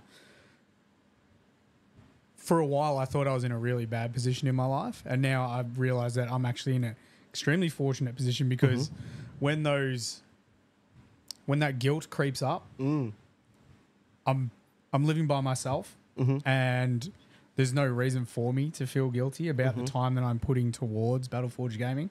And if anything, it's helping grow what is potentially going to be a business. So th- that in itself has helped me sort of. And you know what? Even if the even if you weren't, it, there's still a reason to do it, and it's okay. You shouldn't feel guilty. Yeah. Um, it, it's more people have to have an understanding of what it is, and like, I I found it really helpful um, when my psych was sort of talking to me and going, well, actually, that miniature painting is not miniature painting for you. It's meditative, and I wager it's meditative for everyone that does it. Um, unknowingly, you're going off into a space where everything disappears. Even when you're doing like um, when you're doing the assembly and stuff like that, it can go. Uh, I Oh, hate assembly, no, yeah, but for me, oh, it's a assembly nightmare. can but just- yeah, Oof. yeah, um, I agree. But for some people, they love it. You know, the converting and changing and doing all this stuff. You know, and um, that creation uh, is meditating, and meditating is so important for your psych- psychological self. You know, um, and then a lot of people that are in this hobby, I wager, don't get it out as much as other people do. Um, they're very insular people for the most part. Um, and going to these games nights and going to their game shops is like their thing that they do. And that's your interaction with other people. Um, and without that, where would you be? Like for me personally, in my story, I would have gone down a very bad road if it wasn't for the hobby. Yeah. You know, so I can speak to the fact that I wouldn't probably be here if it weren't for the hobby, potentially. Yeah. You know, who knows? But um, I think there's a place for the hobby. For, like everyone that goes there, it's so important for them, and it's their thing. And um, there's so many people that they love fantasy and they love rolling dice and they like they don't know that they want to make a list until they've made it, you know. And there's so many people sitting at home right now on the spectrum that are going, I'm just going to play video games and sit in my room, and that's going to be my existence, you know. Um, so I urge them if they're watching or they they happen across this, just find your local game store and have a look around. I'm hoping that this episode here resonates with a lot of people out there I hope so and, too. and gets gets them motivated to potentially do something about sort of the position they're in. And you know what's funny? I love those in those. Um, I don't know whether DreamHack's going to. I assume DreamHack's going to do it, but it's funny how you have these areas in these things where there's painting, and everyone's sort of going and sitting with other people, and they're all like looking at this one thing, and then sort of looking up as they're changing paints and going, "Oh yeah, what are you doing?" Oh blah blah blah. It's so funny how it's like such a by yourself sort of thing, but even within that, in these big, you know. Um, events that you can go into this area and be painting next to somebody and sharing that experience. And ju- and I think that's so important. And then the outside world will just It goes, and then you can open it up when you like it to. You Yeah. know, it's um, it's really cool. And I think like especially Warhammer, um, I, I guess to an extent, Magic the Gathering sort of got that vibe about it too, with the deck building and stuff like that. But Warhammer, especially with the list building and the lore, and there's just so much. Um, and it's, I, that, ho- it's that hobby pie that, that Glenn from General Games was talking about. So many slices of the hobby pie. Like you're talking about Mm. lore, um, converting, painting, Terrain. terrain, list building. Like there's there's just heaps and heaps and heaps of lists. Like the um, slices of that yeah. pie. Yeah, Yeah. Mm. Yep. and I'd wager that there's something in the hobby for everyone. for sure. Yep. There's people that read books. They don't paint any Yeah. of the models. They don't. yeah, they don't yeah. game at all. There's people that just paint and don't game. There's the people that just game. Paint, Mhm. paint your models as well. Paint your models as well. Yeah, because boo to plastic. Yeah. Yeah, that's not okay. Any paint's better. Just and- put red on them. Yep. Whatever, it doesn't matter. There's something, yeah. But do you know what's funny is in, in the classes, everyone sort of goes, oh, oh, no, miniature painting, oh, too hard. I go, hey, I could do one class, and I guarantee you, I'll teach you dry brushing and glazing, and that's it. And you will have a mini that's far better than you thought it was going to be. I can guarantee you. And you teach them the tricks, you know, uh, of just dry brushing and glazing. And they go, actually, that's not bad. Yeah. And that's the starting point. And I always tell people in my in my painting classes, I goes, just allow yourself to be crap. Because a lot of adults, when we go into something, we've got this There's expectation The of fear of failure as well. yeah. The- But the- also, the I have fear's to start so- off at least medium good. Yeah. You know what I mean? Which is insane when you Yeah, say it. Yeah, it's crazy. the, Insane. the fear is so high that people just don't even want to start painting. Mm. And like you said, the, it's almost an unrealistic expectation by yourself to to think that you're going to be above average when you first start. There'll be people that do it for sure, Oh, there are, especially But- in my classes. but my God, but it's a it's a minority of people, like it a, is a real Yeah, minority of people. for sure. My first model was was not great. I, I wish I kept my Fire Warrior. Like it was, it was uh below. I have well only, I have only evidence of about six years into the hobby. It's the Well, we do actually have some evidence of of your work. We haven't actually brought Oh, any of good. this Yeah. stuff up. We've got, we've got some we got some photos of Cail's work. Oh yeah, It's It's cool. probably probably a good time to bring give, it in. Give people yeah, some, go for it. So, yeah, I think first up we've got uh, your Dante, which is kind of exciting for us to talk about with you because this is back to your personal hobby journey. Mhm, mhm. This is the first model you've used non Non-metallic metal. Yeah. I, I, I dabbled in the silver, but never the gold because I was scared of gold. I, was the gold easier than silver? I would not that No. I, I'd, I'm.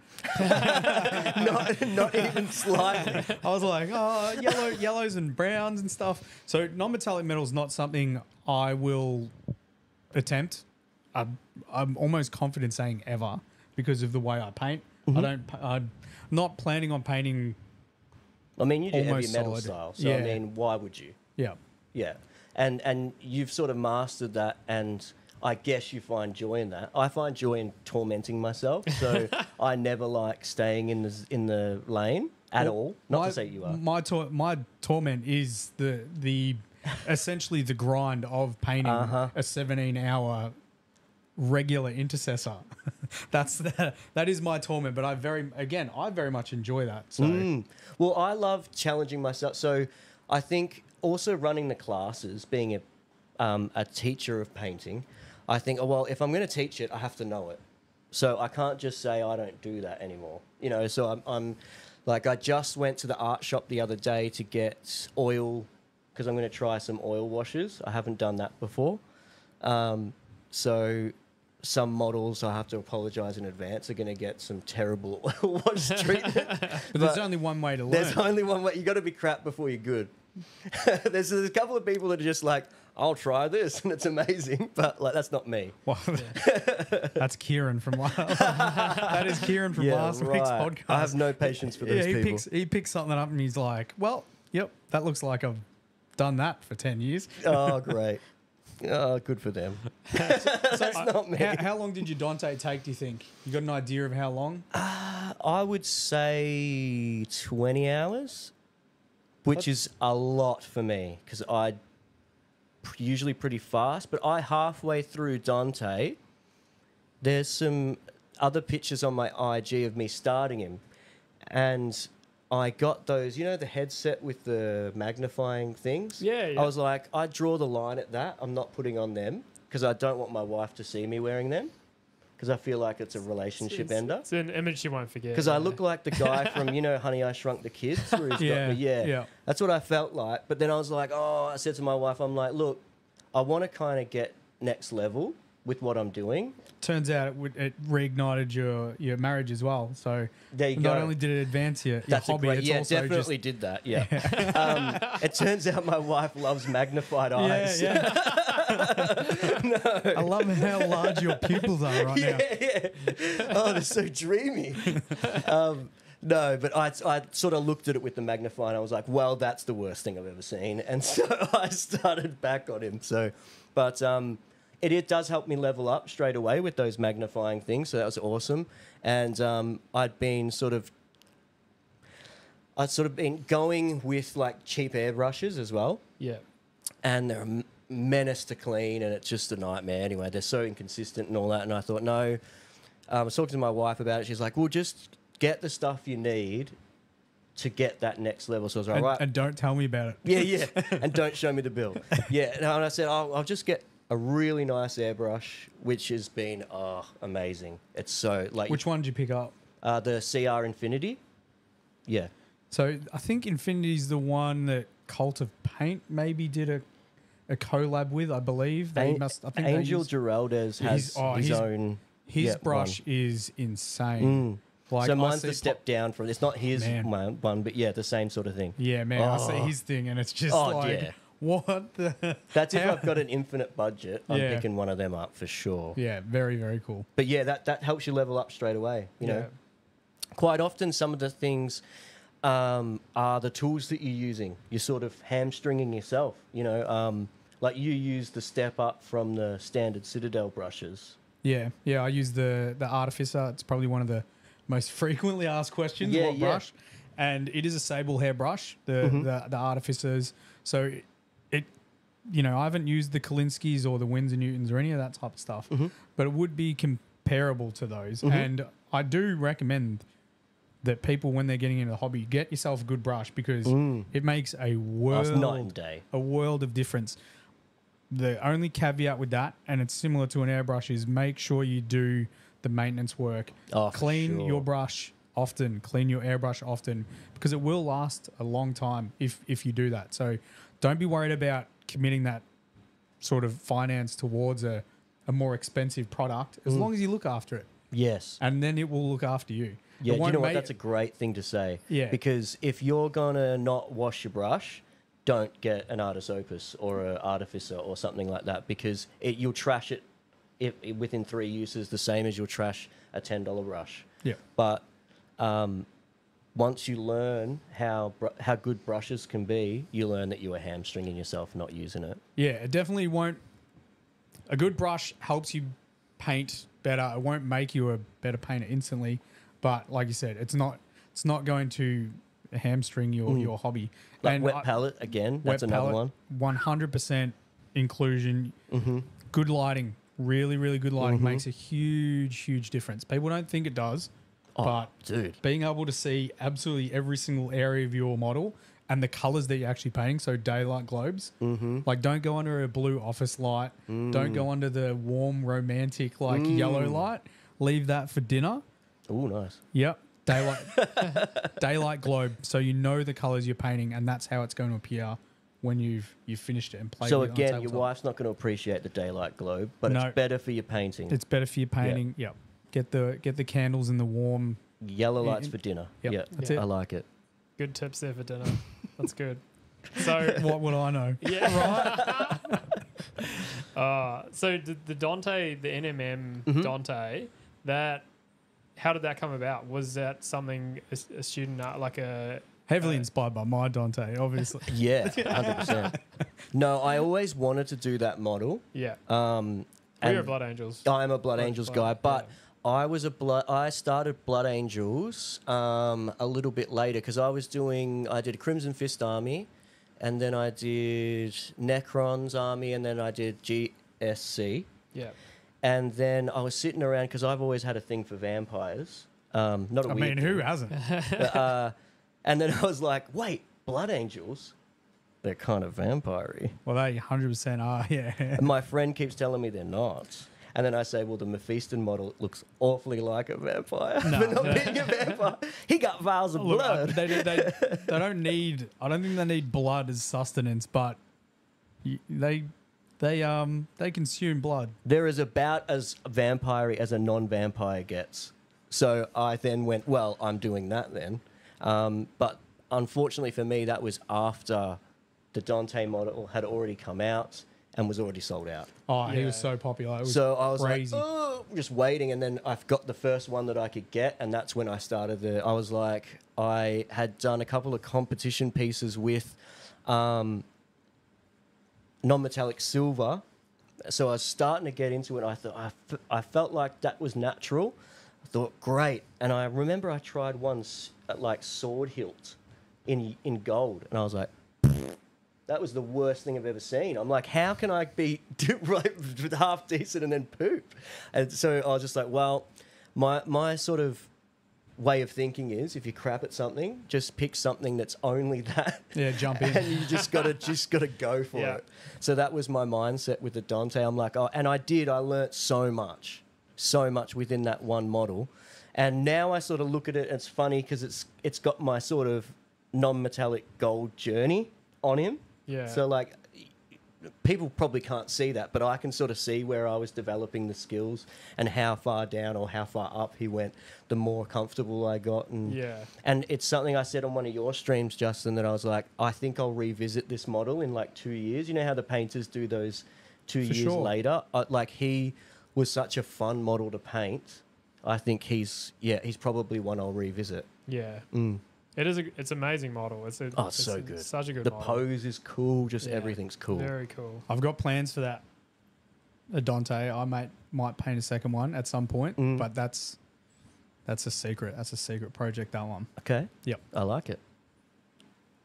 So yeah, so with the the competition side of things with Mhm. painting, is that something you're looking to s- dive further into? Or Yeah, so this year I'll probably be more active in that because I think also too when you're like developing your skills as a painter, the best thing to develop skills is to go into competition, see other people that are painting like super high grade, pardon me, stuff, and um, and also testing yourself constantly to try new things. And I, I'm not as good as Justin with like motivation to do like high detail. Like I really like Tabletop Plus. That's sort of where I sit. Like it looks good, but I can get through ten models in two hours. I really like that. Um, but it's also good to sit down and just do pants for a day. That sounds awful. but yeah, the, the- you know, like hone Yeah, into the- one the tiny part of the yeah, model yeah. and then do that for a I whole I was session. gonna, I was gonna use a different example and be like, paint a helmet for the day, and then I was like, actually, that's yeah, that's worse. let's just do that. That's great. Excellent. so yeah, I think I think again like try try things that I'm not good at. So I'm not good at um, like competition grade necessarily because when you go to competitions, you see a whole new level of things. But also just trying things that you don't know much about. Uh, when you're doing competition stuff, like, and I watch a lot of uh, YouTube clips or tutorials like Justin's and stuff like that. When you're looking into it, they use a lot of reference piecing and stuff like that. So that's another thing I never used to do. So non-metallic metal's great for that because I was like looking up curved way metal reflects. Yeah, and I mean you can find multiple different art because different artists paint Mm. non-metallic differently. And So- Dante's a great example of that. Like Angel, like um, there's a bunch of them. Flame On. Yeah, Flame On's is Let's. Oh my god, dude is not human. Dude is not human, and he wears the same glasses as you. There you go. So yeah, So he's obviously successful with the ladies. yeah. I as think he saw you wear them, and then he was like, "I need to get some." Ah, that, that explains Yeah, everything. yep. Yeah, It's it's catching on. it's catching on. I need to get some of those glasses. Oh, dude, don't look at anything you've done though. Nah, I actually. so, bef- I I used to have an LED ring light which had a magnifying glass Oh on yeah, it, cool. and I painted some dark Eldar with it, and it was it's obviously uh, a learning curve to be able to use that and know when you're actually making Mm. contact with the model because Mm. it's a little bit different when it's like just natural hand eye, but it even back then I painted some extremely thin edge highlights when I think about it when I was maybe three or four years into the hobby. So it was probably almost comparable to what I do now when I'm trying to do my like crispest lines. Which which is weird now when I think about it. I didn't really think about it at the time. I don't Yeah, think I'll. I don't think I'll use them because I don't I don't need them, but hmm I'll maybe one day. Think of how finer you could get though. I don't. Do I need to go finer though?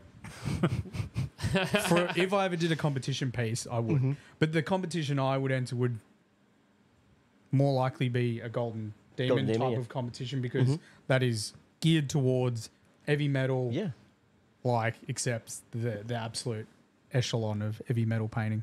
And I think myself too, like what brought me actually to your stream was the fact that I wanted to get better in that heavy metal style because I don't paint in that style at all.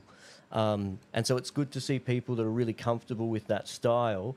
And I've I've since watching your stream like subscribed to a bunch of ex heavy metal artists and like Darren Latham, I, I, I follow him as well, just to see that different style of painting. Um, it's I think it, there's never a skill that you shouldn't learn. No. You know, And some, but sometimes that the certain paint styles aren't suited for you. Mm. Like there are guys like Flame as an ex- example. He's non-metallic metal. He doesn't paint. He doesn't paint heavy metal. He doesn't need to. He's found his niche that he's really, really good at, and he is leaned hard into it. So I think he could. He. Oh man, he could for sure. Not saying, not saying he wouldn't, but like Yeah, yeah, he's, know, I he's found success in what he's doing now, and that's why I, that's why I like to make my tutorials for people and put them up on our YouTube so people can look at the way I paint and I try and make it seem achievable.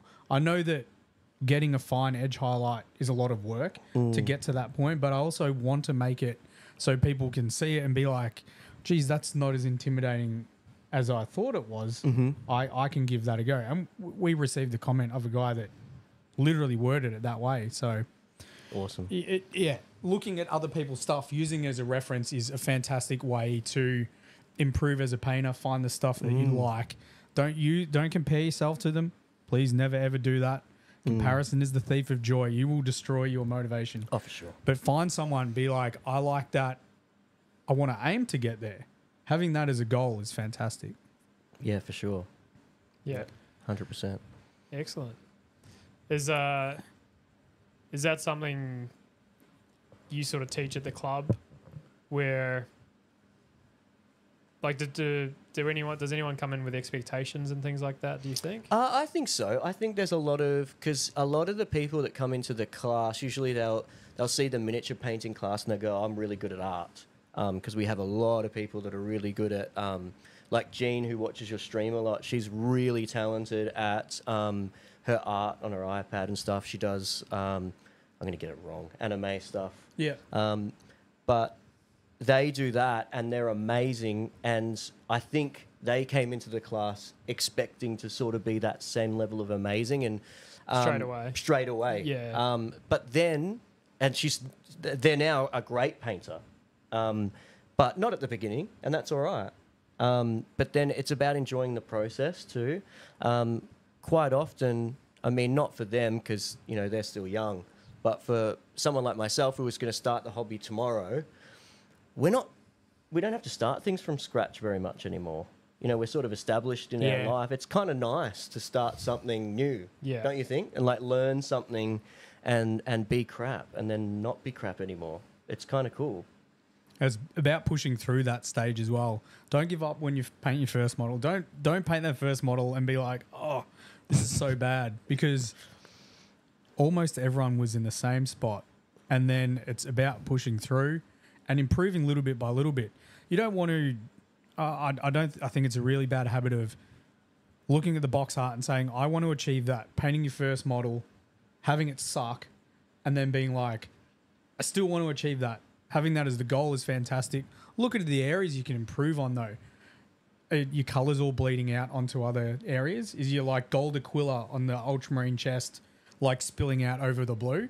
If it is, that's a simple area you can just work on. Work on tidying that up. You can work on doing a recess shade to add depth to your model, and then work on cleaning up the edge highlight. Just marginally work on a model. Don't work on it as a whole. I, I mean, I think the Dante is probably a good example of yours. Like you said, there was progress through the model each step, and I'm sure when you progressed each area, it was because you're like, ah, Yeah, this worked here. I should be doing that more. Yep. Instead of being like, oh, this Dante model sucks, painting it all at once. Oh, for sure. And do you know what? Uh, I think the internet is is a great thing and a terrible thing sometimes. And I think if you're starting out, don't put your models up there, because if I put my first model I painted up and went, "What do you reckon, guys?" I, I reckon there would have been at least three or four comments to say, "You know what? It's not for you," and I might not have done it. Another really good example. Again, Darren Latham, which Mhm. he's going to come on the podcast because I just keep dropping his Oh. name. But he was talking about painting models for display. And one of the things was seeking advice from, I guess, more experts in the industry. Don't put it out to the I- wider I s- public. I, saw that Ooh. post. Don't put it out to the wider public because you're going to get a whole varied range of answers There's actually just waiting for you to put it up. yeah, and again, it's that bell curve, right? There's a bell curve. When you first get into the hobby, a lot of the time people feel they know everything, Mhm. right? And then the bell curve goes down as more experience happens, and you end up being there's a there's a bunch of hobbyists that sort of just do their own thing. They don't really socialize with people. They don't really tell other people what to Mm. do.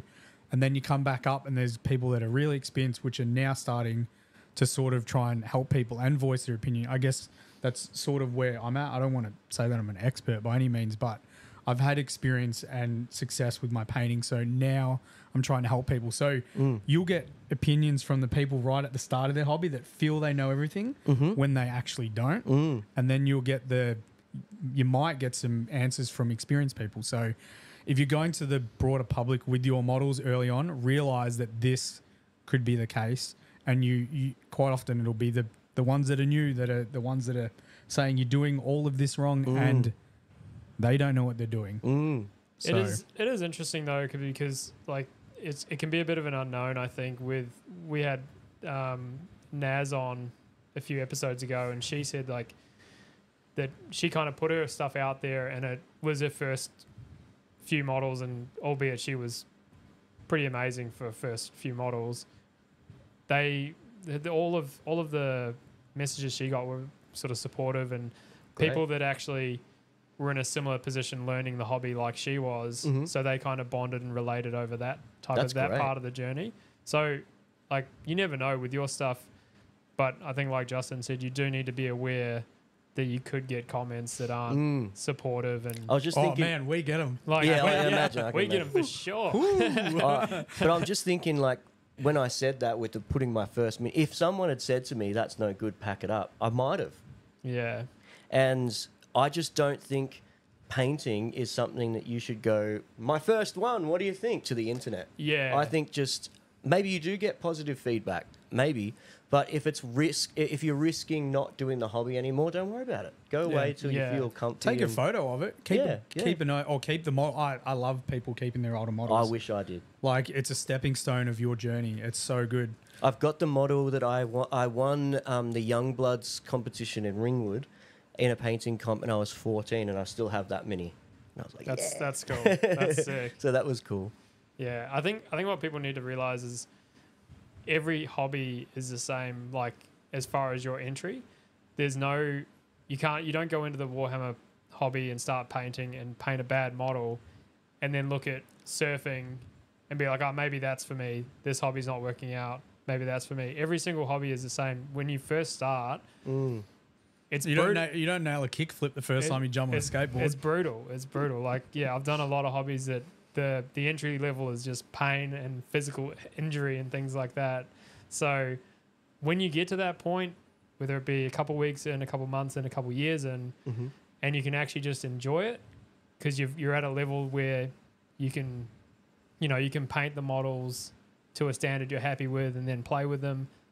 It's an amazing feeling. Mm. So don't let that initial struggle Mm. deter you and there's no reason to think this hobby isn't for me i'm going to try something else because that hobby will likely be very similar to the entry point of That's true. That's true. That's good. like I, I i can see people looking at the hobby and being like oh it seems like a lot of work and s- anything worth doing is so Mm. That's so true. yeah. Yeah. i've i've done a lot of hobbies in my time and every single one of them started exactly the same way There you go. So yeah, that don't let don't let that deter you. Definitely stick it out. Get to that point like you guys are at, where you're just enjoying it. You're just having a Mm. good time, doing what you love. Which And is, I think painting too, once you get to like a decent level at painting, I think when you're adopting the new stuff, you have got that sort of. I do you know what I think is one of the best skills is learning how to fix mistakes in your painting. Don't be afraid to fix them either. So I think so Mm. many people paint their model and they just leave it. It's yeah. it's paint. Go back over it. And I'm so less scared to try something new because I'm like, I'll just fix it. You know, Yeah. and I'm not worried about it. And I think, um, and the only way to know how to fix them is to make them. So I've made a hell of a lot of mistakes in my painting. I Still- don't, still I don't know them. why, but I was I was Oh in that, no, I was in here we that go. Is this a roast? No, no, Oh. I no, not I at like all. it. Go, no, no. go. That looked like- Warhammer World, looked like it was gonna episode be a- one. Not at all. I was, I was pointing at you. That quite, reminds me of the model you did, Justin. It was I was the same. I was like exactly the same. For some reason, yeah. I thought you couldn't paint back over it. I was like, Mhm. you do the base coat and then you do the next part, and oh no, I've spilled some on. And I'm like, damn it. That's it. Done. Throw it in the I bin. don't, I don't know why though. Like it doesn't make any sense. You could totally. Why? Why couldn't you? Why couldn't you paint back over it? I mean, if your paints were really thick, Yeah, I, I'd, I love the. You can see someone's like touched up, gone over, and it's like, there's like a nice Yeah. line there. Yeah, yeah. So there's, yeah, you can't always do it. But Yeah. if you learn how to thin your paints and yeah. yeah, fix your mistakes. It so- is paint after all. You can you can strip it back. You can If strip it back. If back. it happened, you can strip it back. Yeah, you can It's not- cry, strip it back. yeah, it's fine. It's not the end of the world. Yeah. It's just Have a bath. Forget for some, about it. yeah. For some reason, for some reason, I don't know if if a lot of people feel the same way. I just did not think that. Yeah, yeah. No, I, c- I know what you mean. I Yeah. know what you mean for sure. When you don't have the skills, you're like, well, now I've made this mistake. How, I can't fix it. What Mm. am I going to do? Yeah. I guess how do I fix it? Yeah. Yeah, that would yeah. Be, yeah. Yeah. And it's and you find ways around it, and then you're like, oh, next time you do it, it's just like, oh, don't Yeah. worry about it. Yeah, And like you said now, it's like um, I don't care if I make a mistake, fix it. yeah. And I, I used to do things like dry brush, like as my last thing that I'm doing, which now is the worst thing. You dry brush first. Like if I'm like if I'm painting dwarves now, I do all the metallics, just dry brush them real quick. Awesome, all the metallics are done, and now I can zone in on those little bits, and I don't have to worry about any spill. Yeah. Again, this is all that stuff that comes with experience Mm. and making mistakes Mm. and, and learning. So The amount of times I've put metallic flakes over stuff I've painted and been like, oh yeah, dry brush first. But anyway, Yeah. No, it's a yeah, it's a it's a learning curve and yeah, you just you just got to put in that effort, Mhm. I think, and put in that time. The reps. You'll yeah, the reps exactly. You'll Mhm. get there. You'll get there. That's I feel like, especially with your style, reps is key. for sure. Yeah. Because there, there ain't no way to get better at edge highlighting. Without, edge, yeah, without yeah. edge highlighting. Uh, but, but that was the th- the one thing that I got in the hobby. I saw the box art. I was like, yep. this this is this is my goal, Mm-hmm. and I knew edge highlighting was the the part that I needed to work on. Mm-hmm. So I just did, and I picked models. I picked models that Have like edges. that have edges. So it was a lot of Marines. space marine. Yeah. It was a lot of tau. So Cool. yeah. There's there's tons of like Aeldari is going to be the next one. When you're painting like wraiths and stuff, they Mhm. still have a lot of edges. It's not the square hard edges that you get on Tau or Space Are You're going to do those lot of- cool ass faces on the, of on the cool, wraiths? cool. Uh, I'm doing a more classic with just the transfers and I, stuff. I, every time I see With the skulls cool on them? skulls, yeah, yeah, yeah. I want to do one of them. They're so cool models. I'm, I'm pretty sure they're rubbish. Oh no, wait, they're pretty good at the moment, aren't they? Wraiths. Mm, I Wraith think with the Knight was busted, and then they fixed him. I think with the Spirit Seer, Wraith Guard, and Wraith Blades are okay. All right. I don't think they're the strongest, which is completely cool with me Yes. because I don't really care. And oh, I just love. I've always liked the They're Wraith so cool. Yeah. They're so cool. Wraith Host is going to be cool. It's going to take a long time though. That'll be like end of next year type of thing when I've got like a sizable force. But they're they're expensive models points wise in game, Mm. like 190 points. So I won't have to paint that many up. Nice. And you can always dump a Wraith Knight in there. I think he's like 500, 400 points. That's a quarter of your that's, arm. Yeah, that's a big that's a big point sink there. Oh, that's cool, man. Yeah. It'll be it'll be interesting to see when when you get to the Aeldari. Yeah. Well, I've got lots of Blood Angels to do before then. We need to paint lists for battle reports. So Yeah. Awesome. When do you? Uh, is there a ballpark of when that's going to go? Uh, we're thinking mid mid sort of year, I, I think. So DreamHack is obviously goal number one for us. Mhm, mhm. That's a big. We want to we want to do a, a really good showing there. We want And when and where is it? Is that so again? DreamHack is on the 26th until the 28th of April. So three days is the Anzac Day weekend.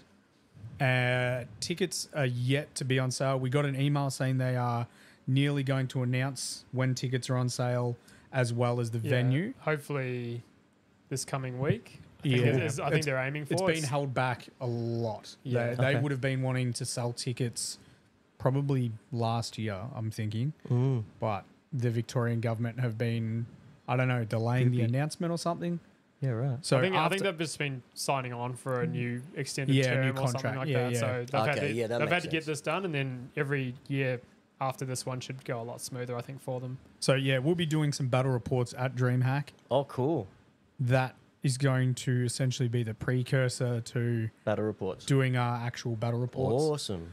So mid mid year, hopefully, fingers crossed, we'll start with smaller lists. It won't be two thousand off the bat because it's very hard to paint a high standard army, Mm-hmm. and that's sort of what I've asked from all of all of my friends Mm-hmm. because we want to very much show off the the work. Painting, yeah. Yeah, of, of people. sense. We want we want to stand apart with that type of stuff. So Yeah, cool. hopefully mid year battle reports start happening, and we've we've got some big ideas for them, Oh, that's which cool. which Exciting. we'll announce at some point. Yeah, Cool. I was trying point. to get We'll some info for us, but I couldn't get it. we'll try. Uh, we'll see how the DreamHack stream goes. Hopefully, Oh, it'd be amazing. that'll be again. That's another thing. It'd be a learning curve for us. We've Yeah. never, Yeah, never tried cool, to man. stream a game, so it's all things involved: camera angles. Yeah, well, we've streamed games, but not to this extent. Not to the extent. Yeah, extent. I mean, we it wanna could just go. be me holding your iPhone. We can do that. Nah, it's not going to be that. Be like, I thought these guys were going to be serious about it. It's BFG on a bigger scale. You get there, and it's just a bigger phone. Yeah, yeah. it's Look the at the iPad. size of the iPad. That's great. Yeah, but yeah, that's basically that's what your year's going to look like, isn't it? Years Awesome. booked out. Yeah. That's great. It's only Feb. Yep. Nah. yeah. great. I mean, it's good to have the the plans in place to get where we want to get. Mm-hmm. Yeah, So I was chatting about it on stream the other night. It sadly looks like I won't be able to do a tremendous amount of passion projects anymore because we are trying to create tutorials and battle reports and mm. that's requiring me to paint specific models for tutorials, which is fun, gives me a palette cleanser, and they can have a little bit of a, a passion project. You know, the next ultimate guide is going to be a salamander. Cool. which is a model I've wanted to paint for a long, long time. Yeah, awesome. So that in itself is a passion project, but you know, if there's a model that comes out that I I want to paint and it's in a different faction, there needs to be a reason for me to paint it. Because my time is quite valuable when it comes to What miniatures you paint? yeah, makes sense. So yeah. That's Yeah. that's me for the year. I'm Awesome. done. I'm all That's my great. stuff's booked out. Yeah. So what's uh what's uh, next for the club and and Cail? Yeah, so I think the rest of my year is going to be uh, chasing up a space for us. I think will be really great. It's Um, table, tabletop Avengers. Tabletop Avengers, yeah. Yeah, so cha- chasing up a space for us um, and working on some day programs as well. Yeah. Um, uh, just growing, and um, I mean, the whole idea is to um, help as many people as we can. Um, and what started off as a sort of idea, wondering how many were local, now understanding that there's a massive need for it, um, Yeah. just even in the Frankston area. Um, and then eventually probably expanding into other other parts of Victoria because you know that if there's so much need in just our area, I'm sure it's everywhere. I was going to ask what areas do you service, but is it do you find that most people arriving at the moment are local or No, no, we have people all over the Mornington Peninsula. Yeah. And then also sort of up towards the Dandenong area as well. yeah? And do you Um, think do you think that's only that way because you haven't done a great deal of advertising? Like it's more of no, it's just time. It's just Yeah. time because a lot of people, if it's if it's teenagers after school wanting to get to the class, class starts at four thirty, their school finishes at three thirty. Yeah. There's just no way they can get there, sort of thing. Do you, do you think your space is going to be? You're you're obviously going to keep situated in the Frankston sort of area. yeah. Yeah. Yeah. And then we can probably, you know, I'm just thinking pie in the sky here. Uh, In a Yeah, couple yeah. of years, probably branching out to to Yeah. neighbouring locations and stuff Okay. like that.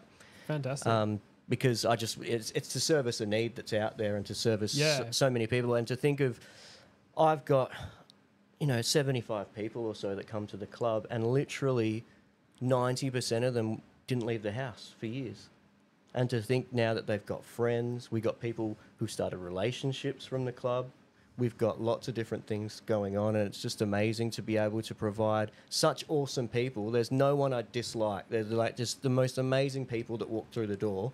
My wife and i always tell each other don't fall in love with this one and then they come in and we do like straight away you know?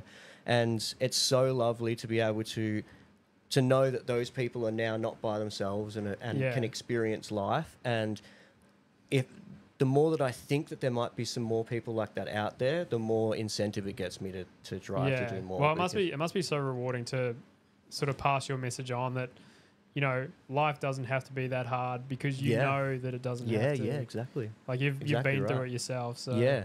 And I think that's important too, like having teachers and, and people with a lot of experience in those sort of things that have gone through mental health crises and understands that that doesn't mean that you're not a person or it doesn't mean that you're lower than other people. It just, it's a part of life um, for people on the spectrum and especially for our generation. Uh oh. There's oh, a little it's the dog. puppy. There's a little dog. Hello. Um, It's like I a IRL Twitch raid. Puppy. yeah, especially with people in our generation that sort of didn't do the whole diagnosis thing. It's it's really important to know that it's out there. You know. yeah, Yeah. definitely. Yeah. Cool. Is it cool if I go bathroom? Yeah, yeah. yeah Oh, we're about to wrap yeah, up anyway. That's, Okay. Yeah, that's yeah. it. Yeah, Yep. yeah. Awesome. So, yeah, that pretty much brings us to the end, doesn't it? Yeah, I Awesome. think, Zay, The- I think the Zayda's Zayda giving raid. us the uh, curtain call. But yeah, thank you everyone for tuning in. Uh, that's live on YouTube and Twitch today. Thank you very much to Cail for joining us. Oh, joining my us. pleasure. Thank you for having me. I really appreciate uh, it. Tabletop Avengers. Yep. I'm loved hearing about the program. Oh, It's- awesome. I'm glad to. Ab- sa- thank you so much for having me on to share it because it's an important thing to just get more voices out there about it. Absolutely. Yeah, the more we talk about it, the better. I Mhm. think it's it's yeah, everyone everyone deserves a voice and yeah, it's just very cool to hear about it. Amazing initiative. Yeah. Amazing Oh, thanks, man. Yeah. Well, um, you know what? It's just nice to be like if you sit down to someone and someone goes, "Oh, look, I'm autistic," and you're playing them at Warhammer. If you just know, oh, maybe he's got a light sensitivity, maybe he's got sound sensitivity. Suddenly, these things become normal things that you think when someone says, "I'm autistic." The better it is for us. You know, the more acceptance that naturally happens because there's more knowledge. Yeah. So it's great for. Thank you for guys for having me on That's all to right. be able to talk about it. yeah, definitely the more yeah, more knowledge about uh, that type of thing, the better. because yeah, you can be more compassionate, more understanding, Yeah, exactly. More awareness. more awareness. Yeah, yeah. It doesn't help. It doesn't hurt. totally. Yeah. Yeah, We but uh, yeah, fantastic. And uh, next uh, next episode, episode twelve, will be solely on Twitch. So if you're not on Twitch yet, jump on there now. It's uh, Battle Forged Gaming, all one word. And uh, we'll see you next time. See you guys. Thanks, everyone.